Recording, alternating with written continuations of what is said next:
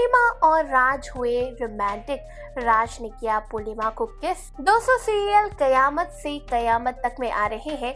ढेर सारे twist and turns जहाँ आने वाले एपिसोड में आपको देखने को मिलेगा कि पूर्णिमा राज के घर पहुँच गई है। लेकिन राज के घर की कई चीज़ें पूर्णिमा को समझ नहीं आ रही।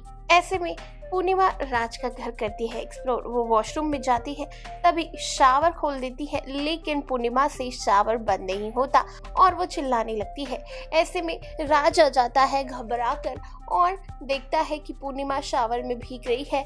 पूर्णिमा को देखकर राज जो है वो हंसने लगता है और कहता है, कोई बात नहीं, मैं तुम्हारी मदद करता हूँ। ऐसे में राज पूर्णिमा के पास जाता है, लेकिन राज से टूट जाता है शावर का नल।